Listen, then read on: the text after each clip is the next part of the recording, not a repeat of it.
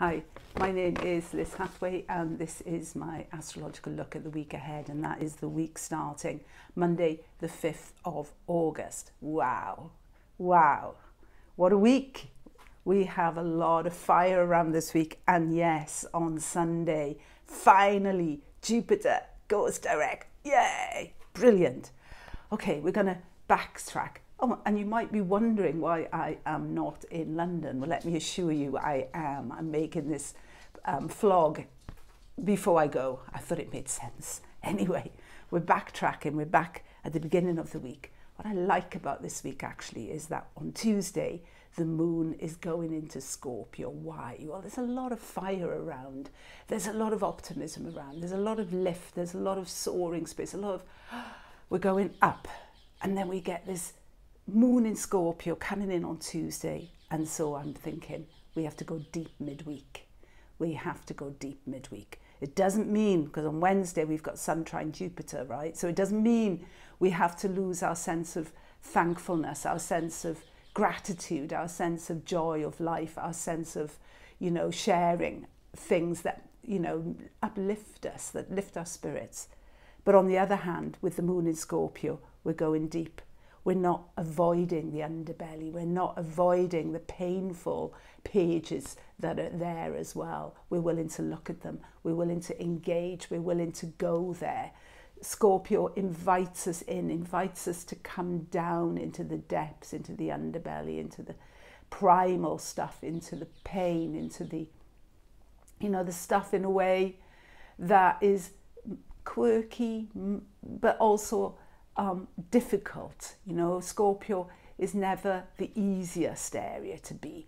And yet, that depth, that sense of bravery when facing um, difficult life challenges, no one faces that sort of stuff better than Scorpio. And the moon is Scorpio, it's intense, it feels things intensely, and, it's, and we're being pulled into that zone on Tuesday and Wednesday. And at the same time, we have a Sun Jupiter trine going on on Wednesday, which is, as I said, Sun Jupiter trine is thankfulness, it's gratitude, it's enjoyment of and in life. You know, it's that saying, in the midst of life, we're in death. It's that kind of energy, isn't it? With Sun and Jupiter trining in fire, but this moon in Scorpio. I like, I like this energy going on there. Thursday, we get Venus trine Jupiter, which is good because Venus is in Leo so, you know, it's saying, yeah, my needs are important. What I want, my will, it's, it matters. I have to speak my truth. I have to be sincere. I have to share what I think. This is um, a kind of boost to relationships, all kinds of relationships, because Jupiter in Sag, certainly kind of slowing down here already, is very inclusive. Jupiter in Sag is saying, okay, join in come with us. We can, you know, we can all pull together. We can all do this together.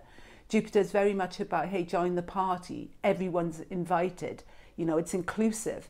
But Venus in Leo is saying, yeah, but my needs, I have to keep an eye on what I want. I have to bring that in as well. So there's many voices there. There's many sort of, um, there's many different, shall we say, egos coming into play. And yet, in a way, with all this sort of trine and fire going on. You know, the idea thing is, is very much about we can start a fire, we can set things alight, we can do this. So it's a very galvanizing kind of energy, I find. I kind of quite like this. And there's also that sense as well, certainly by Thursday, because we've got that Venus trine Jupiter, where there's a great deal of optimism in terms of group efforts, working together, travel plans, study plans, finding, you know, the right niche for yourself. And then on Thursday, we get the moon coming into Sagittarius. Yeah, well, then the spirits really can start to rise. You know, this is really kind of light energy. It lifts up. The spirits go up. Um, so yeah, and then we get into uh, say Saturday. We have again. We then we have the sun trine the moon, the moon in Sag. Yeah, I mean, how much fire can we get? I mean, the temperature here has dropped, but astrologically, you know, it's a blaze this week. And fire is about inspiration, as I said. Fire is about setting things alight, the fire starter, that idea. You know, the thing is when there's a lot of fire we need as well, and that's where Saturn in Capricorn is good, although, yeah, I mean, he's also at the moment Um, is he retrograde? If he's not, yeah, he is. So, um, you know, but we do need to put borders in with fire because otherwise it becomes wildfire. Oh, yeah, that's a good idea. Let's do this. You know, and then, you know, reality bites at the end of it. So we do need borders this week. We do need to, um, you know, not, not promise too much, not, you know, not overreach. And that, because that's a big danger as well with Jupiter always and the sun trine um, the moon on Saturday with the moon in Sag in Jupiter's sign. You know, this is the risk. This is the the downside of all this wonderful energy. But having said that, on the day that um, Jupiter goes direct, we get again that pulling us down energy. The moon goes into Capricorn, earthy, two feet on the ground, realism. You know, that kind of these kind of like you know, moon in Scorpio, moon in Capricorn, they earth us in this flight, if you like. So it doesn't just become a flight of fancies, that it isn't all talk, you know, that we can actually walk the walk as well.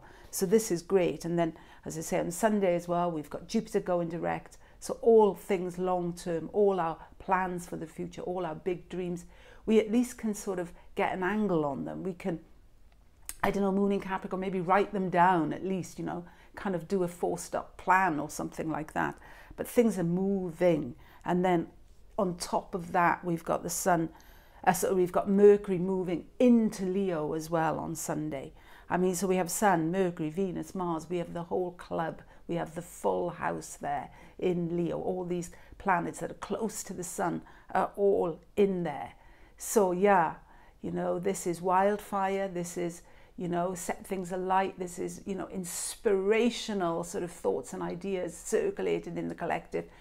And don't forget, you know, thoughts have the power to move, words have the power to move. This is quite magical in a way. So it's very important, I think, that we um, don't waste this energy. Don't like um, just, you know, make sure that we put something that we contain that fire that we bundle it so that we can really, you know, cook something. Okay, that was my view of the week. Have a great time. I will be back. Bye.